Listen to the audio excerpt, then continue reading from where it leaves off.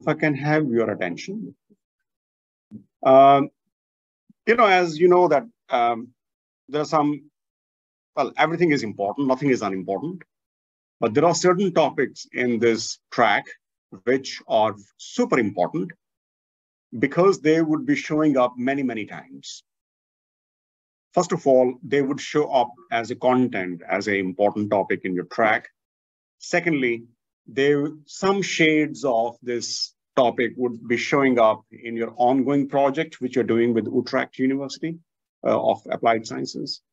And then they would show quite, quite significantly in your uh, uh, valuation and risk management project, which you will be doing with this uh, Canadian university. And then in the CFA project, which is the ultimate project at the global level, it would be very much obvious.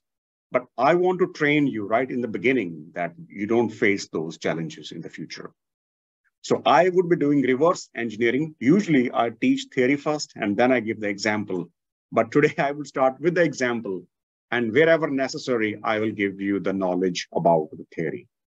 So we will be having very hand-on approach we'll be applying to understand this. The idea is that there is a reasoning behind it. Uh, if, for instance, and, and by the way, the, the, the whole discussion would be coming from this spreadsheet, which I have shared today. So if you want, you can even open it in your computers so that we go together.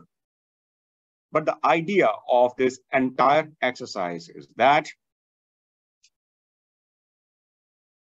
if, for instance, I go to Yahoo Finance, let's say, yeah. And by the way, uh, this task we shall be doing in the context of Valmet, which is a very popular, very big engineering company in Finland. And they're, you know, it's not far away from this place where they are located as well. There's a big production capacity we have, you know, very not far away. So if I type in Valmet here,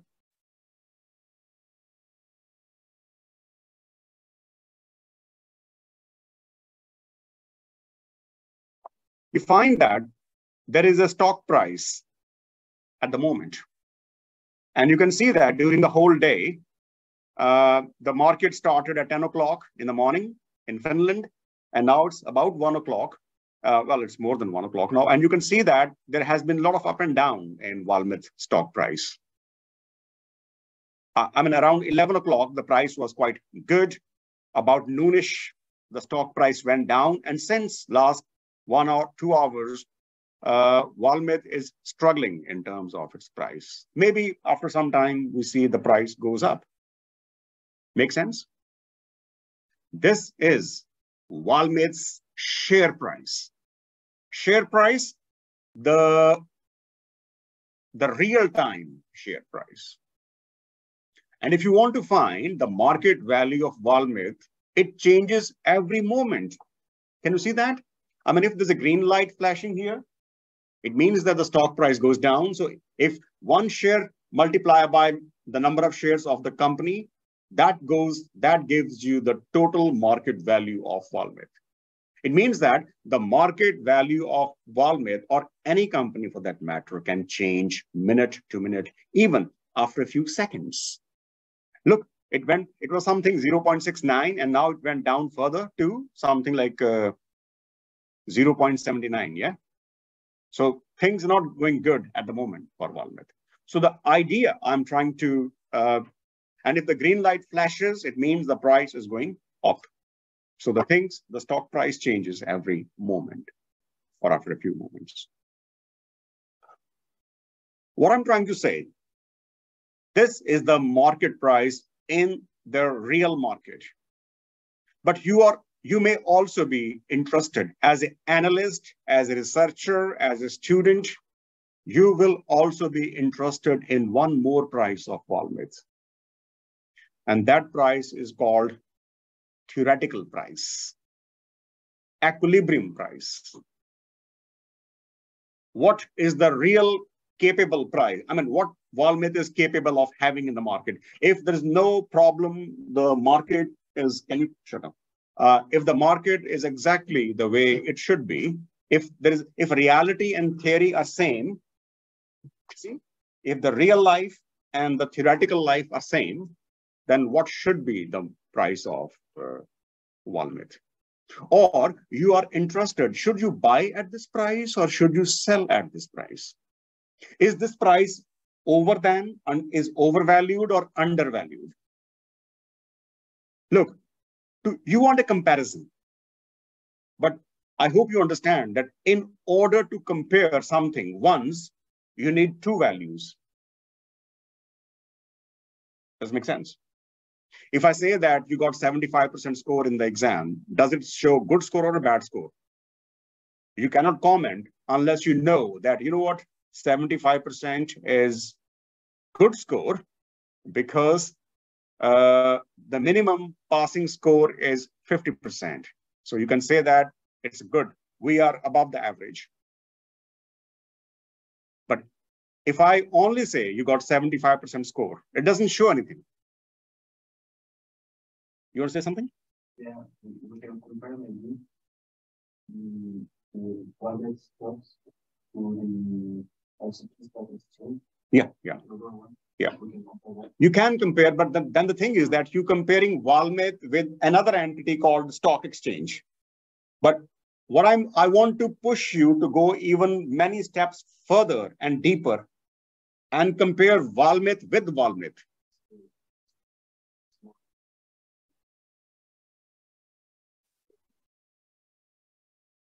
Yeah, but that's what I'm saying. That you you want to compare Valmet with Valmet.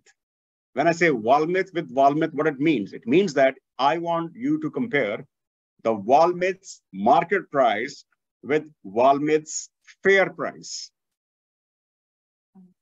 Does it mean that, for example, uh, each uh, share price is, for example, um, shown in this uh, page, for example, is 3 euro per, per share. But mm -hmm. in the real life, people, investor, doesn't pay uh, more than two and, for example, 2.8 for each share. So we mm-hmm. cannot say that 3 euro is a kind of um, real price. Mm -hmm. 2.8, which is people um, tend to pay and buy that uh. Mm -hmm. Now, if you, for example, have Valmet, at when you look at 22.68,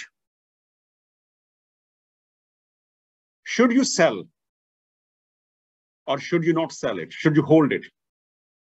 Or if you don't have Valmet, should you buy it or should you still wait for it?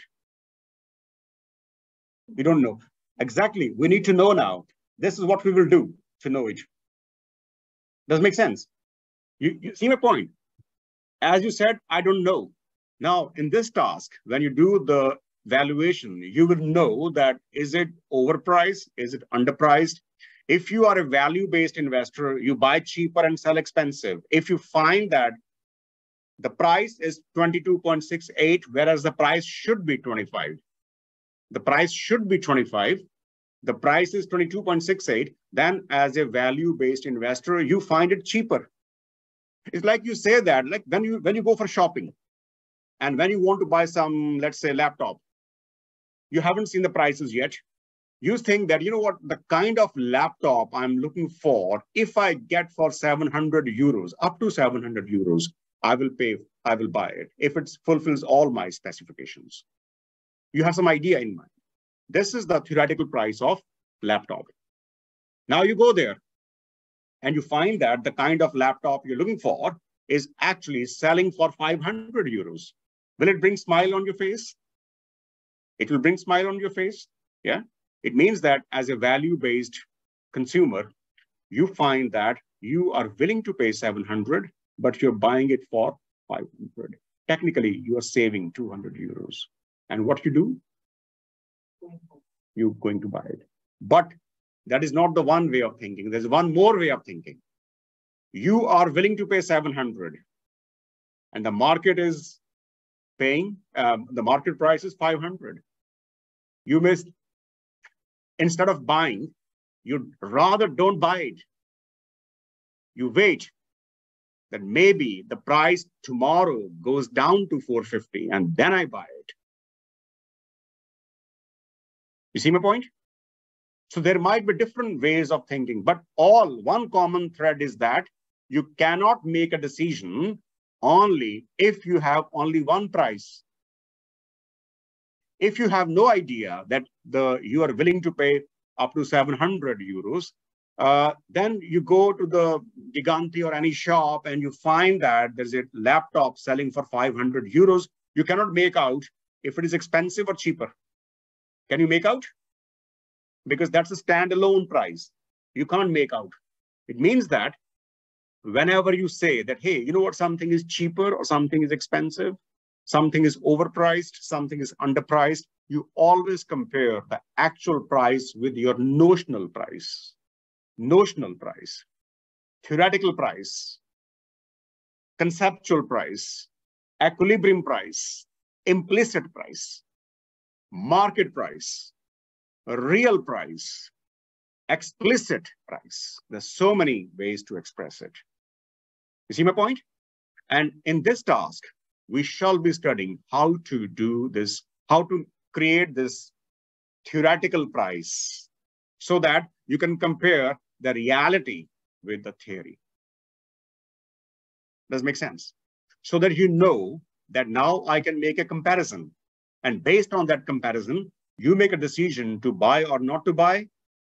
Uh, if you're selling something, like for example, you have a house now, and you find you find out that you know what, at the moment, the house which I have, the fair price, if if I really feel gives me pleasure, if I feel happy about, uh, my house should be sold at 150,000 euros.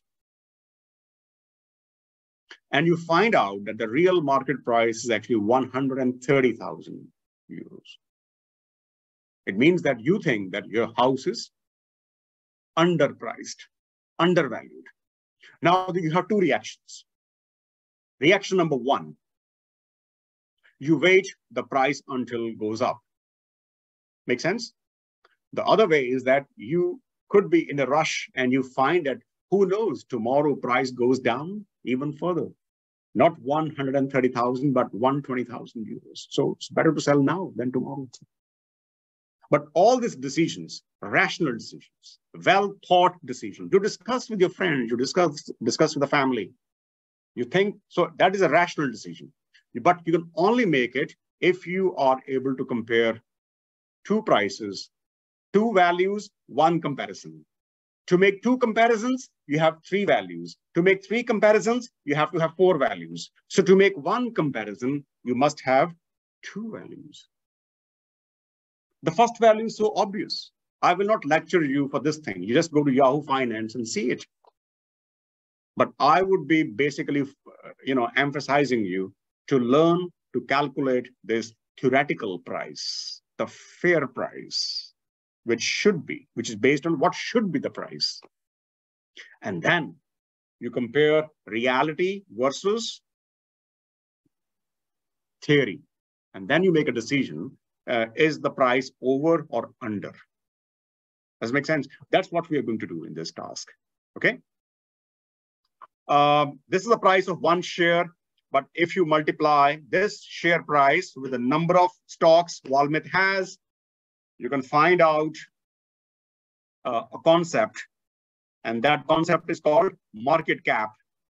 That is called market capitalization. So one share price multiplied by number of shares would give you the market value of Valmet, which at the moment is 4.21 billion. Uh, is it euros? Um, yeah, yeah, it's 4.21 billion euros. Again, when you look at 4.21 billion euros, it looks a very big amount, but still you're not sure. Is it a is it higher than should be price or lower than should be price? So it means you need to calculate another price called theoretical price. And that's what we will do now. All right. Now, is the is the background clear to you? So of course, we'll, we'll compare Valmet with the rest of the market, but we want to become even more as an analytical. When you become some financial analyst, Even your clients will be very smart people. They can check this website, Yahoo Finance. It's so simple. But they will ask you that, hey, what is your notion of the should be price? So you compare is price with the should be price. And then you decide, is it overvalued or undervalued? Like we do in the house, like we do in case of laptop. If you want to buy a business, this is exactly what you do. If you want to sell a business, this is exactly what you do. So this is like a valuation part that we do, you know. Uh, yes, uh, you want to say something? Well, um, if, uh, like uh, our uh, classmates told uh, before, Mhm. uh, when we want to invest on some um, companies, there Mhm. is kind of two different type of um, analysis, Mhm. kind of horizontal and vertical. That's company in the industry, it's same, um, Mhm. like, um, same uh, factor, everything in the both in the one same industry, and then that company with its own Mhm. uh, process, its own real uh, price and something like, that, right? Mhm. Yeah, well, that is a fundamental analysis uh, when we have the accounting values. Uh, but in this case, this is a part of your technical analysis. Technical analysis where we are using the stock market information to reach at it. The two type of, of analysis. In the fundamental analysis, we take some business fundamentals like uh, earnings per share, return on capital, uh, return on assets. So these are some price to earning ratio. These are some business fundamentals or financial fundamentals that we analyze historically. We can compare Valmet with Valmet over many years and see if Valmet is doing good or bad. Or we can compare Valmet right now with the nearest competitor, for example, ABB or some other company, yeah, some engineering company, and then make a comparison that is Valmet overpriced or underpriced. What we're going to do now is even more sophisticated. We are not comparing Valmet with any market index. We are not going to compare Valmet with any competitor. We are going to compare Valmet with Valmet. But of course, we will have we have to cross all these steps and hurdles to reach that final stage. Yeah, make sense. You want to say something? No, Okay, all good? All right, let's go then.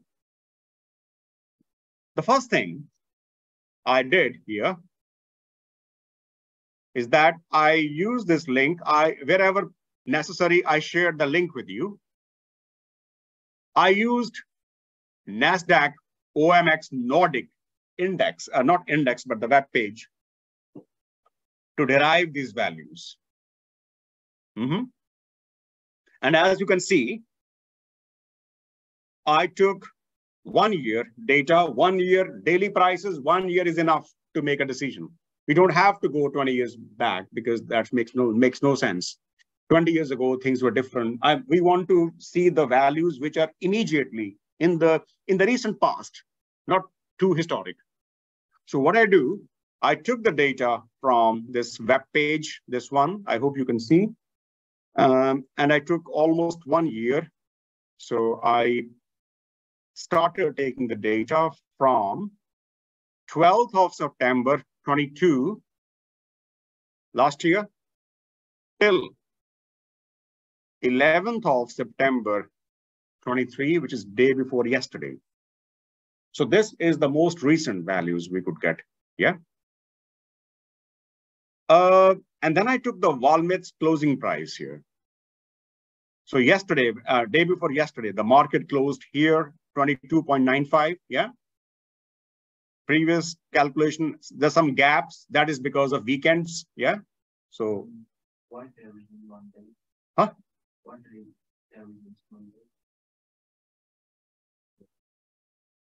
this is Monday. Who's missing?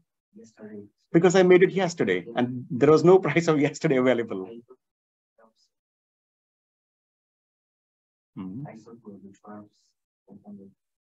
You want me to add 12 September also? Okay. Okay. Okay, this is this is the closing price of Valmet uh, for one year. Yeah, and I hope you can see that the first cell is uh, uh, row five, yeah?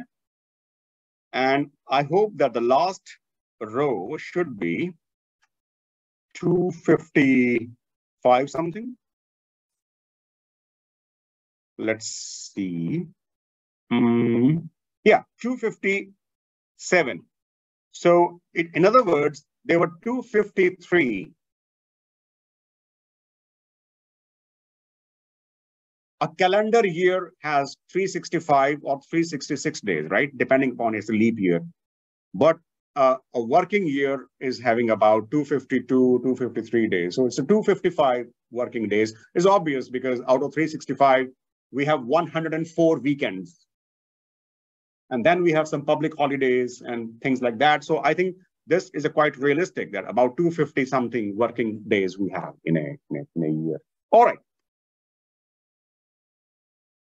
The first lesson as a student of finance, you should learn never make a decision based on the absolute price of the stock.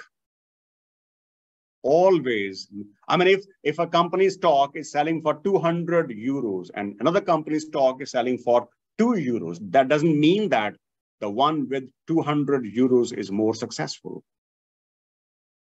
Never make a decision based on the absolute prices. Always make a decision based on the relative prices. A relative, comparative, or in simple words, in the financial language, we call it the return. Not the stock price, but the stock return. And as you can see here, what I did here is Valmet return. Imagine today the stock price is 200. Stock X, stock Y, the stock price is 2 euros. Who seems more powerful? If you are a lay, lay person, what would you say? Who's more successful? The one with the stock price of 200 or with 2 euros? If you're not a finance student and you somebody told you that the stock with the more price is more successful. You may end up making a wrong decision and you may end up saying that the one with 200 euros is, is better than one with 2 euros. But imagine, day before yesterday, the stock price was 210 euros. And yesterday it was 200 euros. It's not progress. It's a failure. It's a bad performance. On the other hand, there's a one stock with two euros values now, but maybe yesterday it was one euro. It rose 100%. So never judge the performance of a stock based on the price. Always go further and make return. And what's the formula? The, the different ways, but I, this is what I did yesterday. So it's, it's a natural log uh, the price, the current price, mine divide by the, the previous, immediately previous price. So if you want to compare the, the stock return performance of 8th of September and 11th of September, I remember 9th and 10th, there were two weekends, right? So we don't count it. And then we find out that in comparison to uh, Friday last week, on Monday, the stock price was better. However, on Friday last week, it was worth it was worse than Thursday. Thursday was worse than Wednesday. Wednesday was worse than Tuesday. Monday was better than the previous Friday. So every time you see a plus here, it means the stock price, the stock return improved, and every time improved over the previous day. And every time there's a negative, the stock return is worse than the previous day. Is it fine or not? Remember, we all need to understand step by step. If some people learn more and others remain behind, uh, that's not good. I can wait for you. I can be even slower, but don't keep the things in your head. If you have a bit of doubt, speak out. Yes. It's a natural logarithm. Natural logarithm. Maybe if you have the French or the other language, there must be some substitute word for logarithm. Hmm? Yeah, ln. So yeah.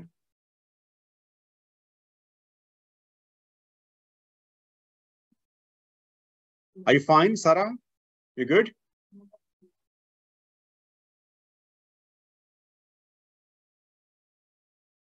Little uh, about what?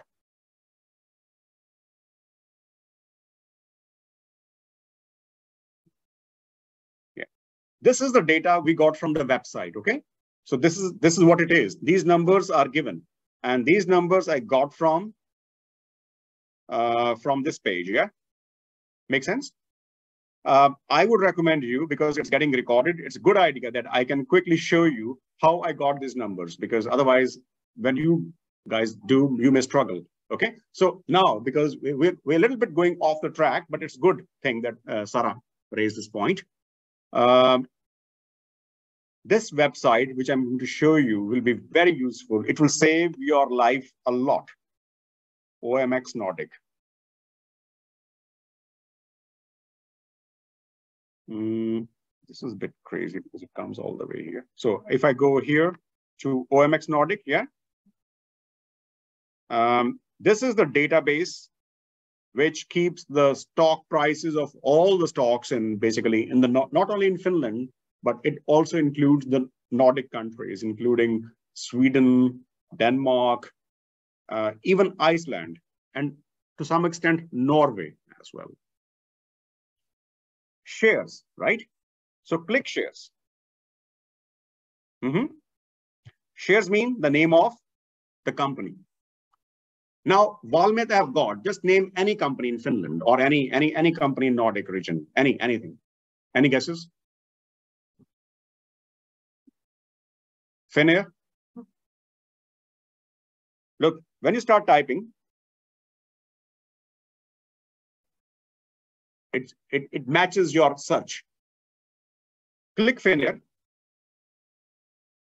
You basically get all the resume of Finnair here. It's like a you get all the mm-hmm. details of Finnair, yeah?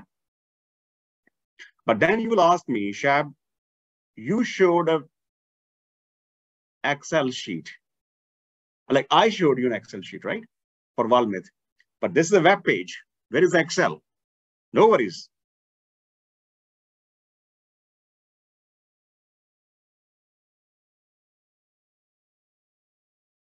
It says, show history. This is what is happening today. Mm -hmm. But you may be interested in the history, one year, what has been happening for the last one year. Like I showed you in case of Valmet, we have uh, full one year's data, right? Show history. You decide what day you want. Um, let's say we say, we let's say we want to go one year back. No worries. Look what I'm going to do. I do nothing else, but I change the year. Now the starting data would be from 12th of September 2022. Make sense? You can change. By default, this is 23. And if you see here, you can see that there's a whole trend for the one year, right? But again, this is not, this is still not Excel. This is still a web page. Yeah. There is a CSV function here. CSV means that now if I click this, all the data will go to the, will be exported to the spreadsheet. And if, let's do it. Uh,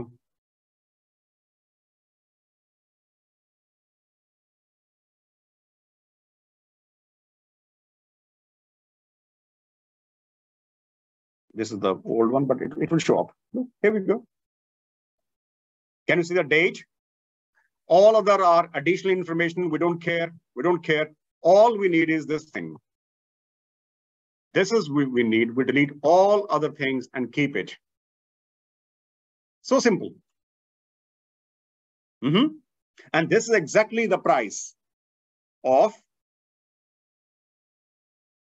Valmet I chose. I, I, I on purpose took some other company than Valmet so that you can see that it works for all the companies. You can choose a time. If you want, look, you have a choice. I took 22, right? I could have gone back to 2012 also. Normally, these companies are very old in Finland and they maintain their data for last at least for 20 years. So, but we don't need to go back for 20 years. One year's data is enough. Because look, one year data means about 255, 250 days. In statistic, any analysis which contains more than 100 observations is quite decent analysis. But in our case, we have about 250 observations, so we are safe. Are we good? Excellent. You, um, big question. I think you in OMX Nordic, the name says you can only find the Nordic companies. Yeah. Uh, but for example, if you go to uh, if you go to uh, investing.com or even Yahoo Finance, you can find French companies, German companies. And by the way, um, I have been to CSE, the, the, the CSE exchange, and they also have very good data, no problem. I, I have done analysis of French companies very often, and there's no problem at all. You can find the companies with no problem at all. I, I, I don't see any reason. Yeah. Are we good? Do we still have any doubt? If you have, please clarify. I can I can take five hours to explain it to you, but make sure that your fundamentals are clear. Uh, learning at it at the higher level is a child's play, but learning the fundamentals sometimes can be a bit confusing. Yeah. So if you have any bit of doubt, I, I keep I keep moving ahead. But anytime you want me to bring back to the basics, uh, don't shy. Let me know. Hmm? We are learning a very important topic, so it should be understood to everybody. Otherwise, there's no purpose. Now you understand why I didn't analyze the price. Instead, I wanted return. Mm -hmm. Return is something more uh, important than, yeah. It's like we learned that um, I made a deal um, and I made a profit of 5%. I made a profit of 10%. We never say I made a profit of this amount because that amount doesn't show is it higher or lower. Okay, so I do it again. Um, one more thing, maybe uh, it's a more like a function of Excel than anything else. Um, I can do maybe in the other form something.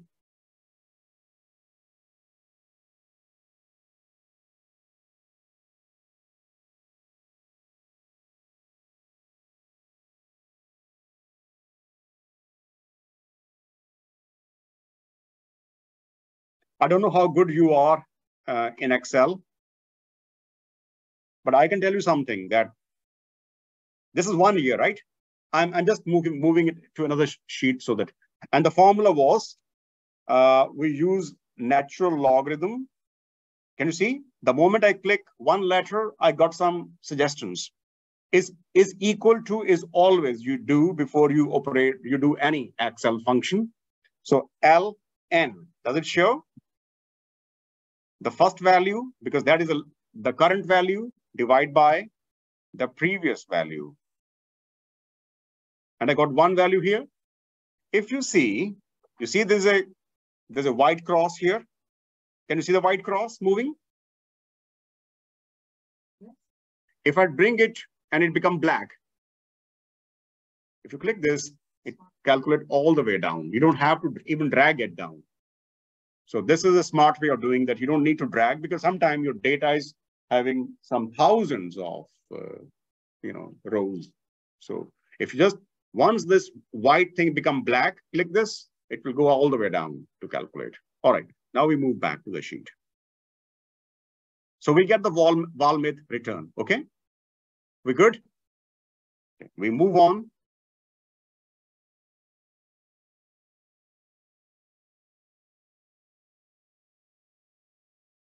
And remember one thing that you don't have to remember, it comes automatically by default. that your price values are up to 257 row, but your return is ending at 256. You know why? Because you cannot find the return of the last value because you don't know the price of 11th of September here. That's why this value would be always one less than. Hmm? In statistics, we call it degree of freedom. Mm -hmm. Anyways. Okay. Are we good? Questions, comments, doubts, confusions? You have? Uh, can you pause? Make sure that whenever I'm yeah. so Sarah, are you okay? Yeah. Um, Imalka? Yeah. What do you statistics are those calculations which are only introducing your data to the audience, but it's not real deep analysis, but it's a very on the surface type of uh, the first handshake with the data. You are introducing how your data look like to the audience to get familiar, exactly. And then we use, for example, minimum value, the maximum value, the average, and the price change. Okay? Right? But before I reach that stage, I want to show something else as well. And that something else is that this is only Valmet, okay? We need to find the index values also. We want to see that how much Valmet has been behaving in response to the overall market change. I hope you remember that Valmet is a Finnish company. Therefore, I have to compare Valmet with the Finnish index of stock price. You know the concept of index? Hmm? The concept of index is that you are comparing one company with the overall market performance the whole market. Like, for example, I say that there are 50 students in my class, and the average marks of 50 students are 6 out of 10. It means the market performance is 6. The average market performance is 6. Somebody has got 9 marks. It means the student has overperformed the market or the class index Somebody got three marks, the student has underperformed than the market index. So what we do here, if you look at the name 25, there's an index in there's an index in Helsinki Stock Exchange of top 25 companies in Helsinki Exchange, the top 25 Finnish companies. So the average of 25 companies makes the OMX uh, Helsinki index. But you don't need to worry because I'm going to, show it to you. We go back to the same web page, which I showed you, which is here. This time we click indexes. Remember, index means, in simple words, index means the indicator. Indi Remember we say index finger? Why we say index? Because we indicate something. Okay. And in this case, the index is the overall market. It doesn't to like uh. No, no, the whole industry, the, the similar, basically not even the industry. We are comparing it with the market. You know, the top 25 companies, they can come from any, of course, you can have the industry index as well. You can have a sector index also, no problem. We, we could have uh, but I thought that because Valmet is so big company in Finland, that it, the big company should be compared with the other big companies. So you have the freedom to, to, to, to take the index of your choice. I thought that maybe I take the top 25 companies index. And what I do here, look here, click indexes. And when you click the indexes, you find that there is a drop-down menu here. And here you can find out that which are the big indexes. In Nordic, there is a top 40 Nordic companies. There is a large cap, cap companies. Uh, then there are uh, Icelandic companies index. There is a Swedish, can you see SEK here? Swedish kroner. It means these are the top Swedish companies. Then there's a DKK. Any idea? Danish kroner, Danish companies. And likewise, and wherever you see EUR, it means these are the Euro, Euro, Euro, Euro, not European, Euro. Because Finland is the only country in Nordic which has Euro, its currency. So therefore, we pick up the index of a choice. And here you can see that there is Helsinki 25, top 25 I don't pick up Iceland. I don't pick Stockholm. I was thinking that I shouldn't compare Valmet with the Swedish and the other companies because I, I want to compare Valmet with the other top Finnish companies. That's why I took Helsinki 25 index. Helsinki means all the top Finnish 25 companies. And by the way, when you click this, uh, you can even know who are these uh, top 25 companies. And this is the list of the alphabetical. These are the biggest 25 companies in Finland. And of course, Valmet is one of them. You can make a mistake. You can pick up a company, but you pick a wrong index. Imagine I pick up a company which is not even figuring in this 25 index. Then I there's a mismatch. So always pick up the index in which that company lies. Hmm? And it's proved that now Valmet is in top 25. So I didn't make any mistake by picking up uh, Helsinki 25 index. Sound sense? Okay. And technique is same because you want to have the data in Excel, right? You want to have data in Excel. What I did here, once again, I went to the history. Where is history? Ah, historical prices. Yeah. Once you use it few times, you will be you will be pro.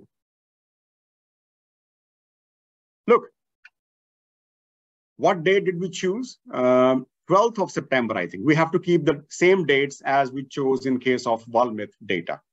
So the index and the date, those they should be matching, okay? What date we pick? We picked up 12th of September was it 12th of September? So the month should be 9th. And this was 22. So you can customize it. It's not a big deal. And then by default, it comes this. Mm -hmm. Are we right? Are we, are we on board? And I want to give a shock now. Hmm? I don't know about your computers, but yesterday when I was doing it,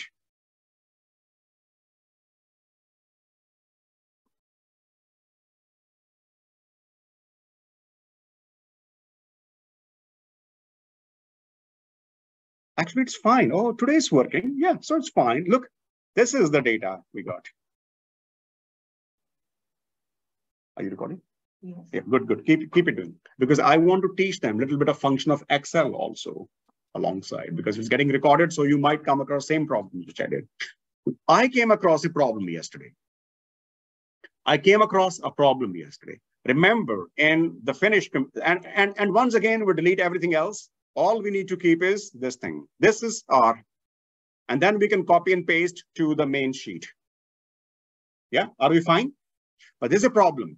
The problem is that in, fin in Finland, generally, uh, we use the comma as a separator between euros and cents.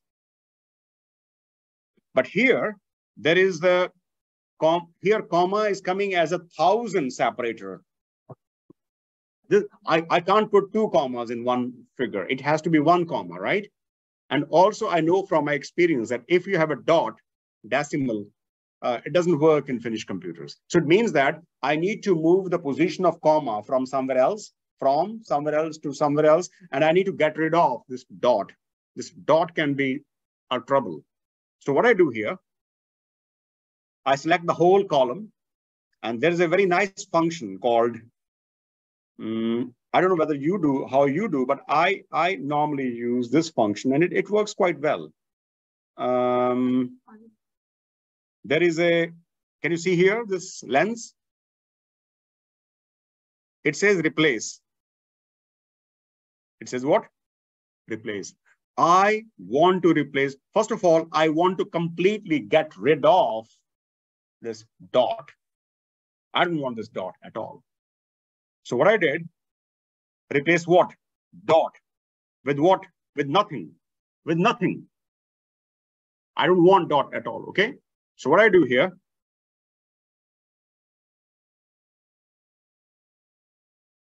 make sense? That's all we need now. Now we have everything, but there's no, there's still, still not everything. There's still not everything. Actually, there is a, um, we need to, oh my gosh. Are we fine? I thing is that I want to replace. I want to get rid of commas. Yeah, so you're right. So what I do here, replace comma with nothing, replace all. Okay, now the thousand separator comma is gone. And now what we do, now we replace decimal with comma. And now we get the number exactly the way we should get. And then I copy and paste or cut and paste this column and bring it. Bring it here. Mm -hmm. So these are little steps. They look very big, but they are not big when you do it because if, as long as you know the steps, it's fine. Okay, all right, good. Well, you can apply those shortcuts. And then like we calculated, like we calculated the Vol Valmet return, again, the index value itself is not, um, and by the way, these are same dates, so don't worry about it. So like we calculated the, the stock return, we also calculate the index return here. Again, by using the same formula, uh, natural logarithm uh, bracket, the current value divided by the previous value. And then click OK, and you have this white circle, white cross, and when it become black, just click it, it will go all the way down. Hmm. So you'll find it in the bottom right corner, and you click this, it goes all the way down. Okay, so Zara said, now we want to make some comparisons. Let's see the reality check. And now I can see if it, let's zoom out. Yeah.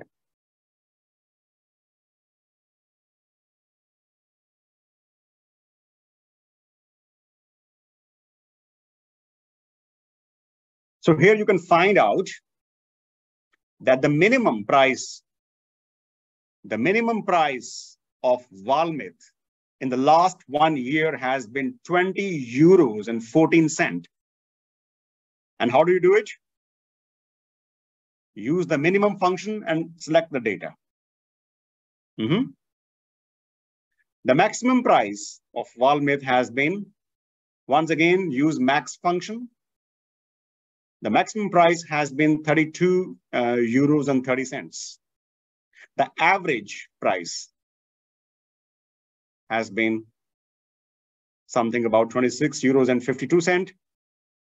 And the price change of the previous day, like the price change is that if you bought the stock price on 12th of September 22 and you sold it on 11th of September 23, then you can find out that the price change has been, you know. So if you bought it on 12th of September and you sold it on 11th of September, is it good for you or bad for you?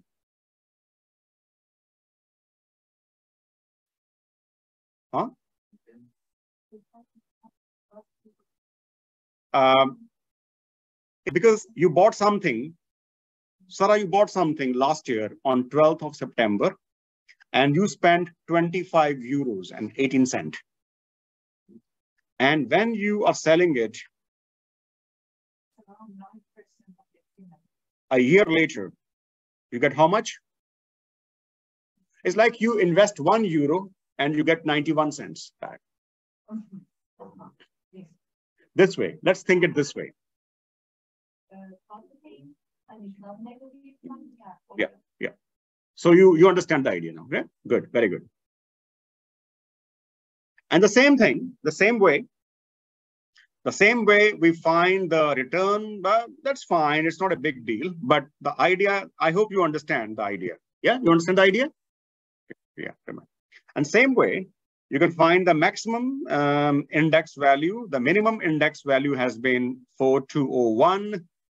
Um, the maximum value has been 5068. The average value of the index has been this. And even if you look at uh, the index values, so imagine you invested in the index. Yeah, you invested in the index uh, you paid some 4,612 euros, yeah, the overall index. And when you sold it,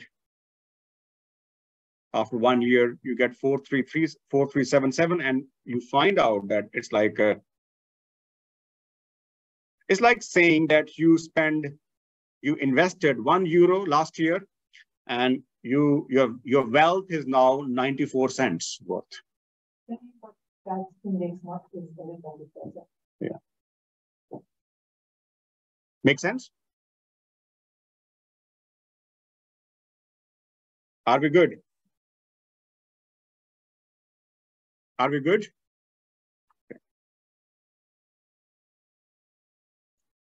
So the price, very important thing is called volatility. Did we discuss yesterday when we when we had the financial management lesson? Yeah. And I told that the return, if you only compare the return, that's only one side of the story. To complete the story, we also need risk. Volatility is measuring the firm's market, the, the, the, the total risk you are exposed to. And here you can see my comment. Volatility is an expression, but we use a statistical measure called standard deviation to find volatility or risk. We find we use standard deviation to calculate the volatility, uncertainty slash risk. Okay, so what we do here, uh, we do basically nothing much.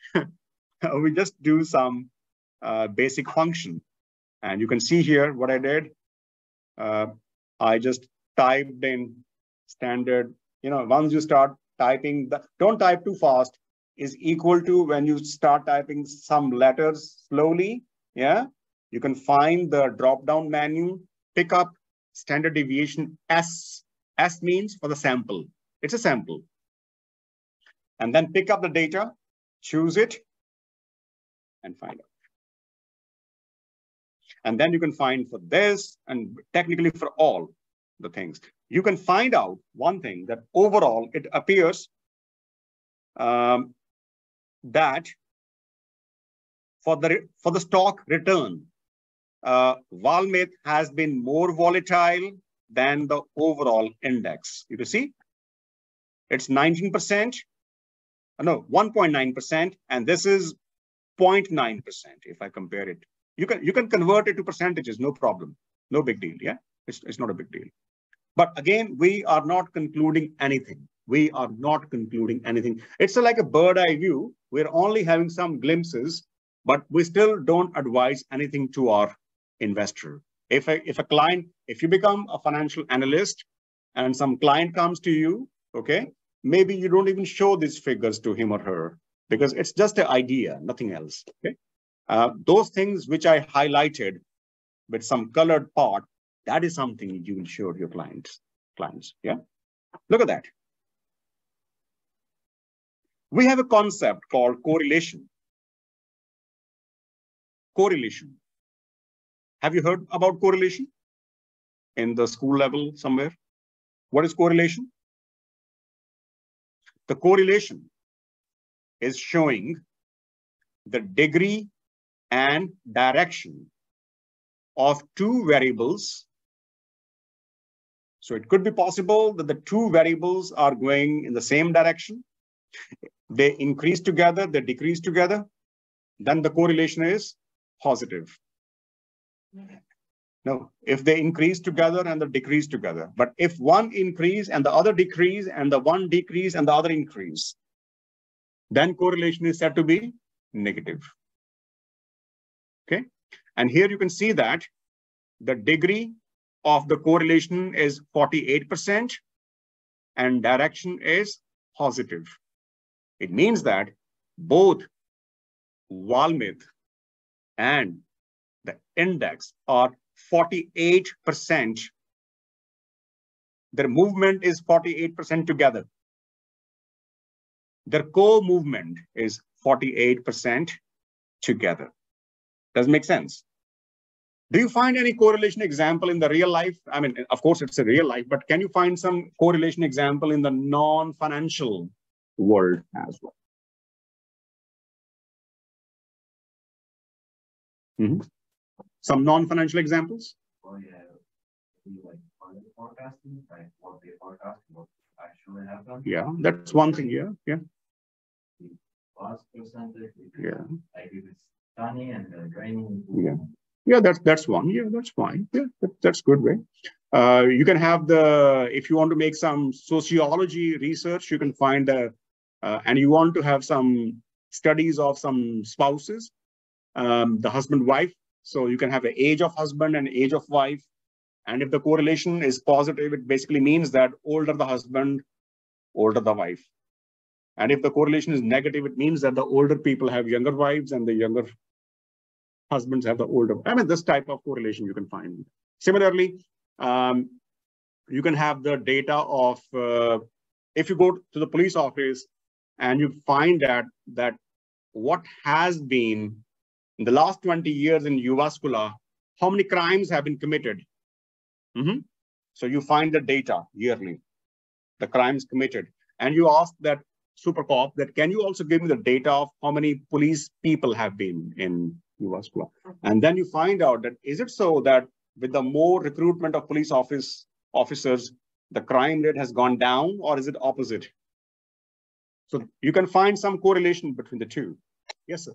In this context, um, if the value is higher, what are the pros and cons? It means that they are very much correlated. I mean, they're, they're strongly related.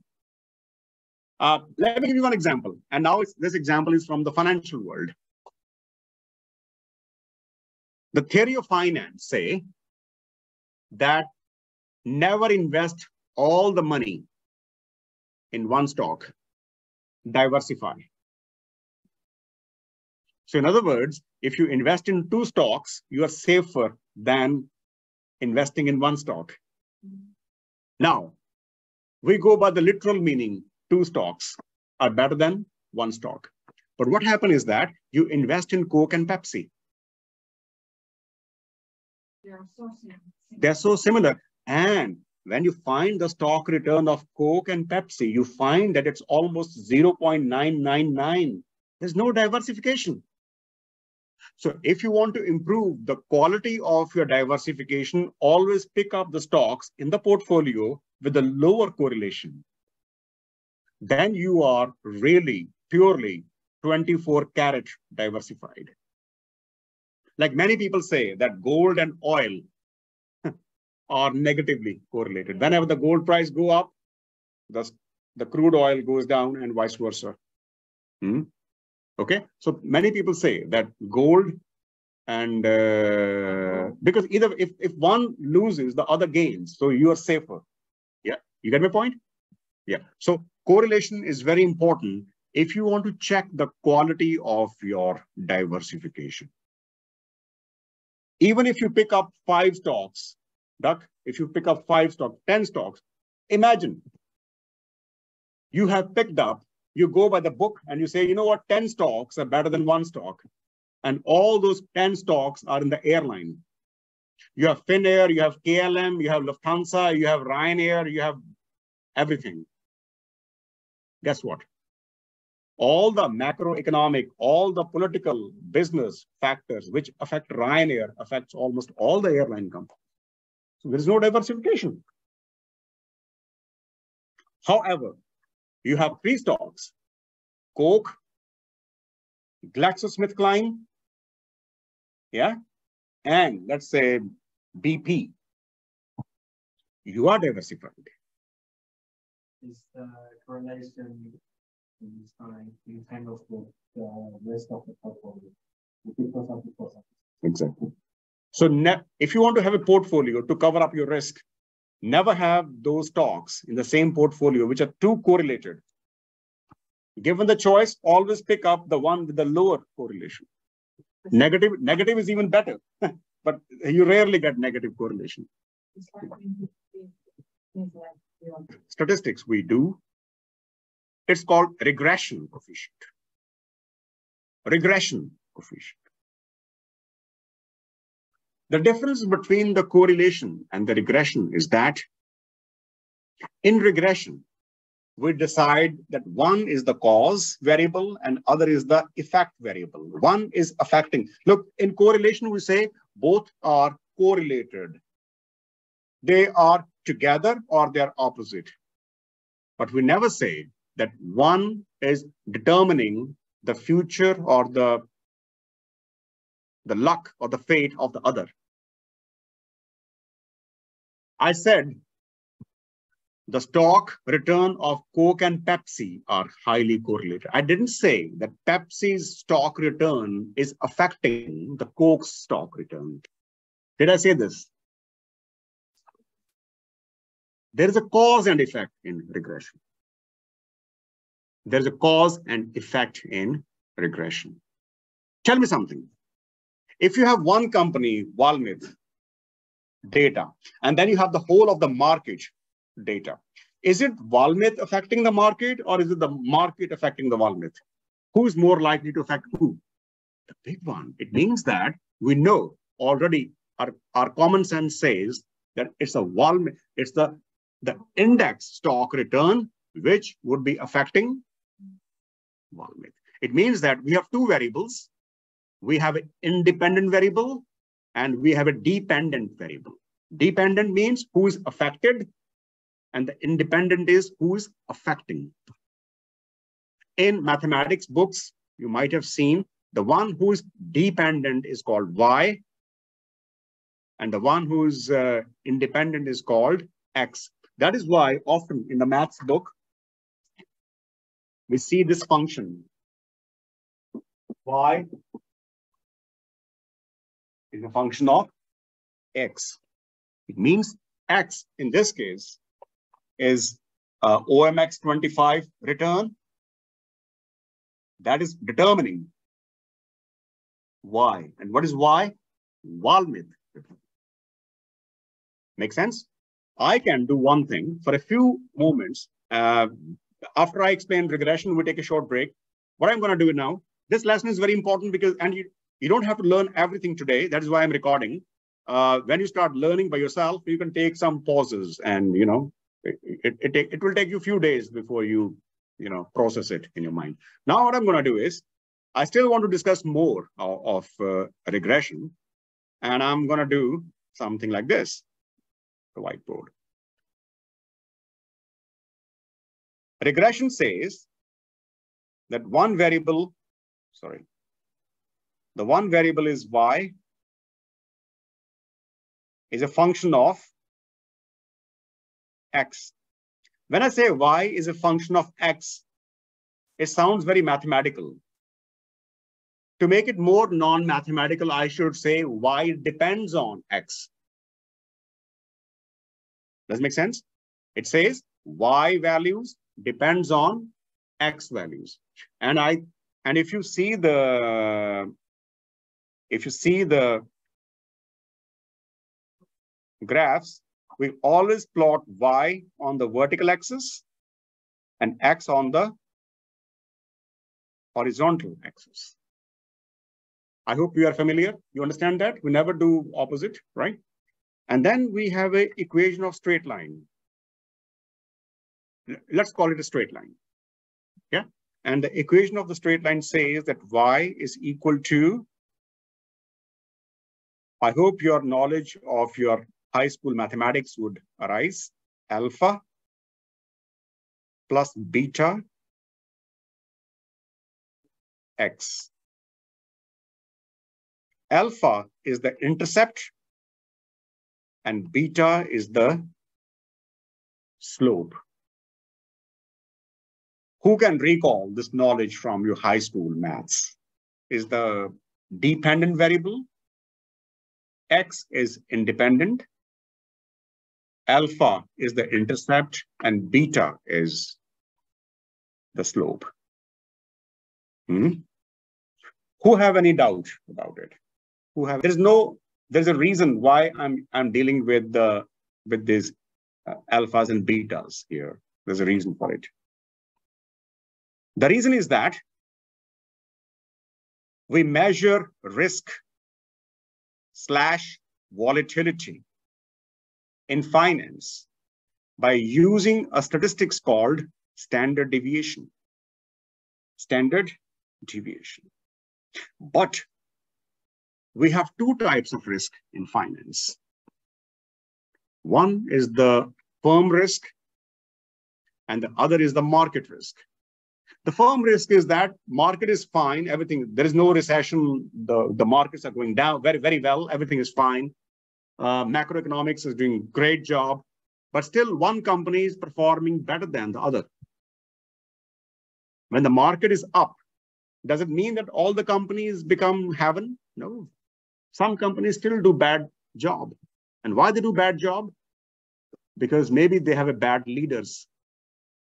Maybe they're not making good strategy. Maybe they are not improving their products. Maybe their innovation is horrible. Right? And at the same time, there can be a company which is marvelous, amazing, great, innovative company, but the market is so down, so bad. The interest rates are rising so much, inflation is rising so much that this great company with all the best managers, the top class CEO, uh, very high R&D, the best machinery, even that company is doing horrible. Is this because of the company's fault? No, it's because of the market's fault. So we have the market risk and we also have the firm risk. Beta is a measure of the market risk. Beta, which is called slope, is a measure of market risk. Are we good? Beta is, remember now, Look, again, you are moving towards from a first you are layperson, then you have some knowledge of finance, and now you are becoming professionals. First, you know, oh, yes, there is a risk and return. Oh, yeah, there is a risk. And then you know that, you know what, risk is not, all the risks are not same. Some risk can be classified as the company's own bad policies. And some risk is called that you are the best, but the market is bad for you. Unfortunately, the market risk is very high. So it means that now you're splitting